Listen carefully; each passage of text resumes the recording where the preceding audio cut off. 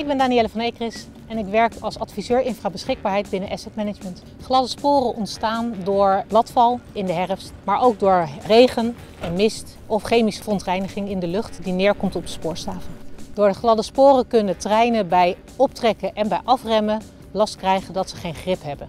Hierdoor kunnen ze doorglijden of kunnen ze juist niet wegkomen. We zijn hier vandaag bezig met de servicebeurten van de Sendite-campagne.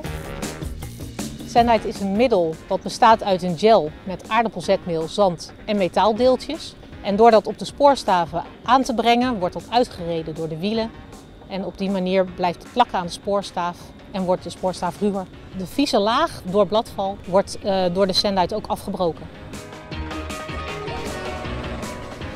De treinen worden om de dag bijgevuld. Ze rijden in een dienstregeling waarbij ze vanzelf één keer in de twee dagen op een serviceplek langskomen.